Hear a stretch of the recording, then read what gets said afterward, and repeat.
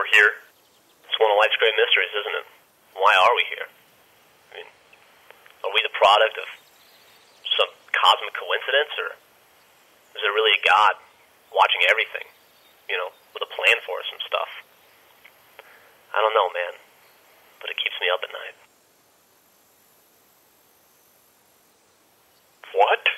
I mean, why are we out here in this canyon? Oh, uh, yeah. What all this stuff about God? Uh, hmm? nothing. You want to talk about it? No. You sure? Yeah. Seriously though, we out here? As far as I can tell, it's just a box canyon in the middle of nowhere, with no way in or out. Mm-hmm. The only reason that we set up a red base here is because they have a blue base over there. And the only reason they have a blue base over there is because we have a red base here. Yeah, that's because we're fighting each other. No, no, but I mean, even if we were to pull out today and they were to come take our base, they would have two bases in the middle of a box canyon. Whoop de fucking do. What's up with that anyway? I mean, I signed on to fight some aliens.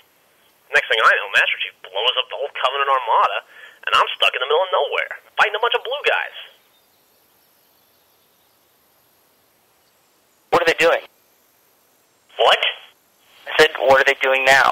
God damn, I'm getting so sick of answering that question. You have a fucking rifle. I can't see shit. Don't bitch at me because I'm not going to just sit up here and play with my dick. Okay, okay, look. They're just standing there and talking, okay? That's all they're doing. That's all they ever do is just stand there and talk. That's what they were doing last week. That's what they were doing when you asked me five minutes ago. So five minutes from now, when you ask me, what are they doing? My answer is going to be, they're still just talking, and they're still just standing there. What are they talking about? You know what? I fucking hate you. Talk about a waste of resources. I mean, we should be out there finding new and intelligent forms of life. You know, fight them. Yeah, no shit. That's why they should put us in charge. Ladies, front and center on the double.